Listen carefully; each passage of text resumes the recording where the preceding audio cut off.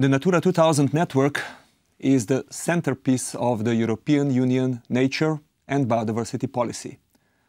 With over 26,000 sites and covering almost a fifth of our land territory, Natura 2000 is the largest coordinated network of protected areas in the world.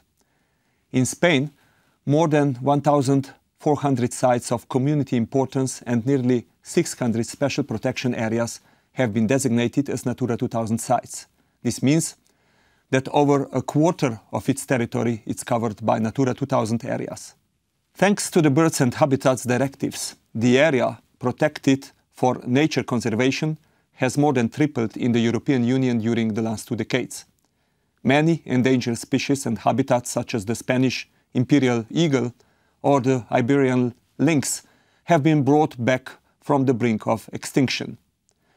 There are many examples where large-scale destruction of valuable wildlife-rich habitats has been prevented.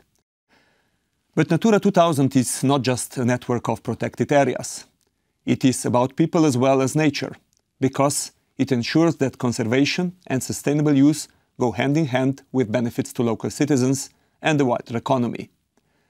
We are more and more aware that we have to live in harmony with nature and do our utmost to ensure that species and habitats that color our daily lives would not exist and would not be able to survive. At the same time, the Natura 2000 network provides us with vital services such as carbon storage, flood prevention and water quality maintenance, which are estimated to be worth around 200 to 300 billion euros per year, many times more than the cost of managing the network. Investing in Natura 2000 is therefore very much about investing in our own future. Natura 2000 is also a network of people. It has introduced new modes of collaboration between public authorities, local population, nature conservation organizations, landowners and users, and has generated new ways of working together with nature.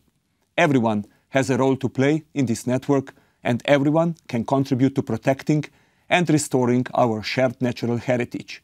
We are all part of the Natura 2000 network, including you.